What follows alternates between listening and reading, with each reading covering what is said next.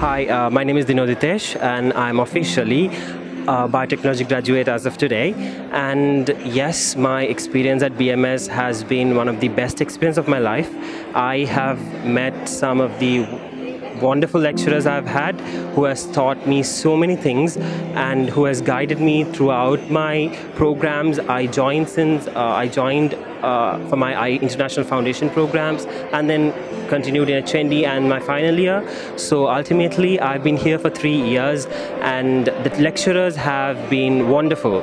They are super supportive and they are always there to help us. Like all the time. You can ask any questions you want from them, and they would they would immediately like they would help you. And one of the other things was i love the modules that they teach me for bio- biotechnology specifically bioinformatics the food and food science and biotechnology applied biotechnology and so many other modules which i love and i hope to pursue uh, uh, my masters and phd in. And also one of the interesting things about bms is that the friends i found and the uh, the uh, being a part of the student council and being a vice president. And it, it has been a full package and i highly recommend uh, it to i would recommend it to anyone.